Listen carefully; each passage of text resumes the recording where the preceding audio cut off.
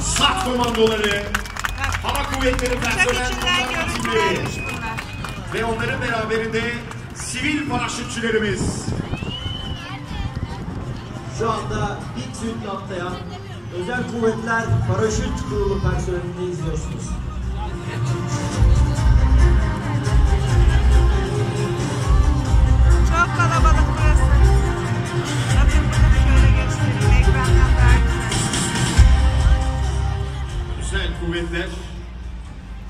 Şu anda çok seri bir şekilde atlayışını tamamlıyor komutanım ve hedefe nokta inişlerini gerçekleştirdiler.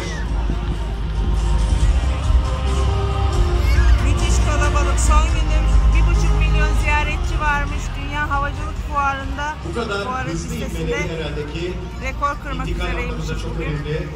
katılım açısından. Evet, harekat devine göre kendileri taktiklerini belirliyorlar ve o anki görevin ihtiyacına uygun taktiklerle işini gerçekleştiriyoruz.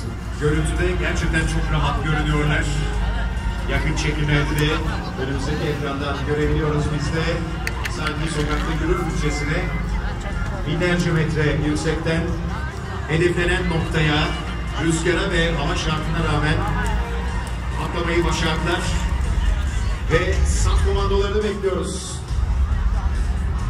Sat komandoları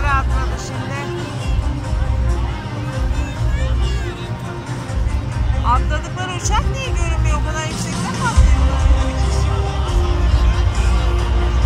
Aa bak geliyorlar, geliyorlar. Ha.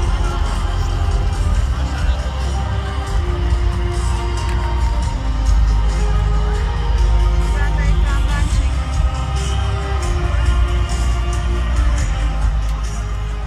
Şu anda her alanda olduğu gibi milletiyle yan yana olan Türk Silahlı Kuvvetleri bu görevde de yine kendi paraşütçüleriyle beraber sivil paraşütçüleri de yanlarında atlattılar.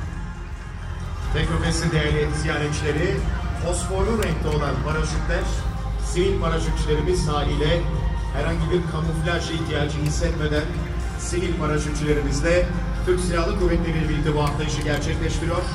Aynı zamanda da su altı taarruz komandoları da yine sivil paraşütçülerle birlikte atlayışlarını sürdürüyor.